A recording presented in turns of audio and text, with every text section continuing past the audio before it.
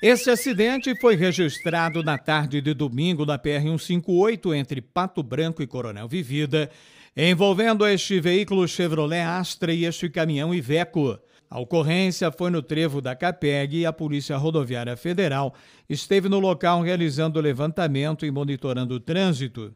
Uma equipe do SAMU também foi acionada e três pessoas foram atendidas no local, mas liberadas na sequência, porque tiveram apenas ferimentos leves. A colisão resultou em danos materiais de irregular monta no caminhão e no veículo Astra. O motorista do caminhão foi submetido ao teste de bafômetro pela Polícia Rodoviária Federal, que indicou que não havia consumido bebidas alcoólicas. Segundo o motorista, o Astra cortou sua frente e não foi possível evitar a colisão. O caminhão saiu carregado de Capanema e seguia para Paranaguá.